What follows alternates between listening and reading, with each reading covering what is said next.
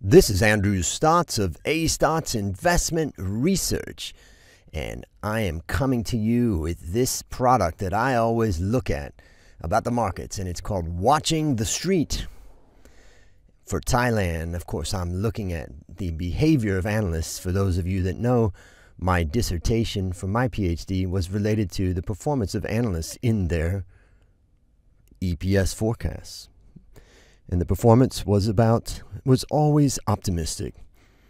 Now let's get into it and see what we can find. The first thing is you can see this chart. And this page I'm looking at recommendation. This is a consensus recommendation from bottom up perspective looking at Thailand.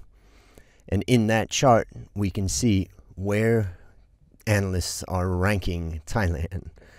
Now, analysts have had positive recommendations on Thailand for five years, and it's currently a buy in Asia, according to this bottom up analysis.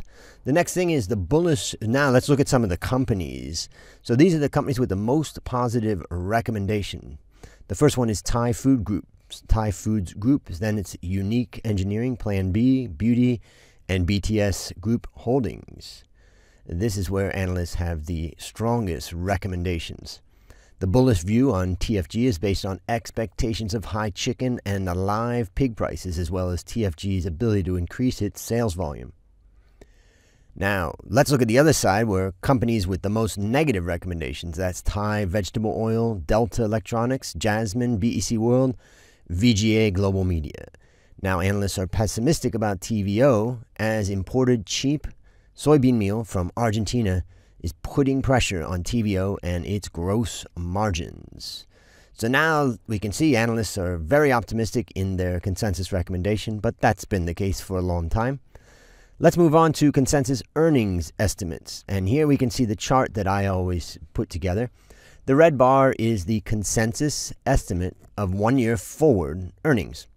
And the first thing you can see is that the actual earnings, the bar, never reaches the analyst forecast. This is part of my results from my research that show that analysts are eternally optimistic.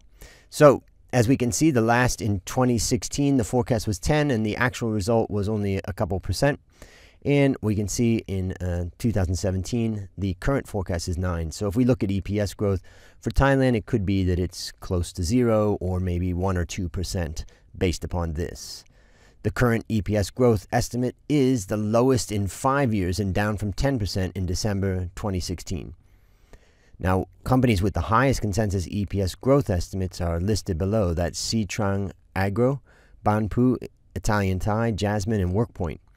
Analysts believe the rubber industry is entering a new cycle and expect STA to turn its highest net profit since 2013 from a net loss in 2016. So it's a turnaround. Now, the companies with the lowest EPS growth estimates are Indorama Ventures, InTouch, and Thai Oil, Esso, and Star Petroleum. So we can see a lot of petro, petro and uh, oil price related uh, items here. Now, consensus expects the fall in EPS growth for IVL uh, is actually due to a high base in the prior period because the company made a bargain purchase that was booked in this same period uh, in 2016. So basically, there's a base effect for Indorama Ventures. So it's less of an issue of analysts expecting 30% down. It's just that it would be very hard to beat the exceptional performance that they did last year. Now let's move on to the last thing, which is the target price. We've looked at recommendations, we've looked at earnings forecasts. Let's look at analyst target prices in Thailand. And what we can see is this consensus target price expected return versus actual.